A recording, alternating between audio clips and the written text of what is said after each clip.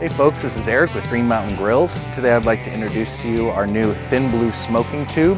What this device does is it allows you to add extra smoke flavor to anything you're cooking while the grill is running and you can even use it as a cold smoker while your grill is off. This will work on any barbecue. You simply light one end and it will smolder all the way across, adding between four to eight hours of additional smoke into your cooks.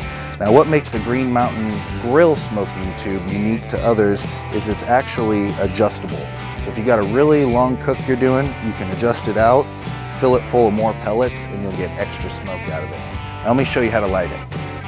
Now you can get these grill starters from any big box store, but actually if you have a propane torch, it's gonna work really well for lighting the end of this. But since we have these today, I'm just using a little piece of it. I've got it in the end here. I'm just gonna get the end started. That way it'll smolder all the way across for several hours.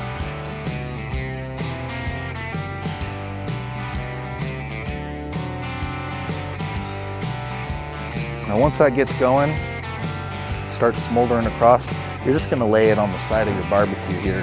That's gonna add a lot more smoke to your cook.